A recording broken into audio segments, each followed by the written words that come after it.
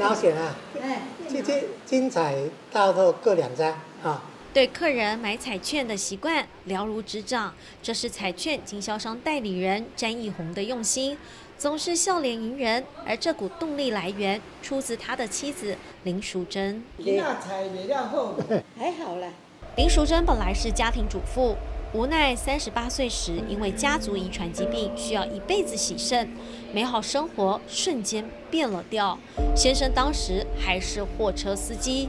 林淑珍生病，小孩没人顾，同时还要面临庞大经济压力。这是家族遗传的，必须接受啊，必须接受啊，接受就没事啊。因为洗肾的关系，可能家庭上经济会会比较困难一点。林淑珍儿子詹家成谈起小时候跟姐姐詹家慧经常跟爸爸东奔西跑过日子，在母亲成为公益彩券经销商后，经济及生活逐步稳定，家人得以安顿。做彩电还是比较稳定，就不用烦恼小孩子啊，他就在店里面就看得到啊。不过因为林淑珍生病关系，体力比较不好，全靠先生的热情陪熟客聊天，教长辈如何玩刮刮乐。这边有重量，刮刮乐嘛，呃，刮有重又很乐。对我爸就是有有点比较比较圆润，会笑脸一样，比较像财神爷。一开跟客人哈拉，我未哈拉。哦，爱什么跟外籍客人哈拉？你那里有 lucky 不？啊，客人讲，你那无 lucky 你要仔仔 lucky。夫妻俩甚至把熟客当自己朋友，顾客有任何问题也会找他们谈心。出门在外，他有时候是事情找我们帮忙，办得到就帮忙他一下。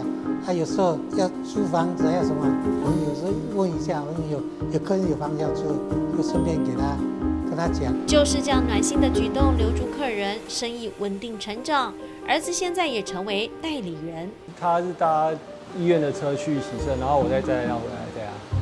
这样帮帮分担分担一些啊。有空闲之余，詹义宏会帮林淑珍按摩肿胀的双腿。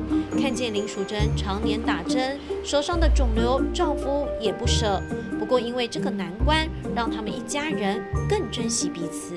感谢财政部、中国信托台湾彩券，让我养活一家子，至少不用风吹日晒雨淋，让我能有个地方安身，有稳定的收入来源。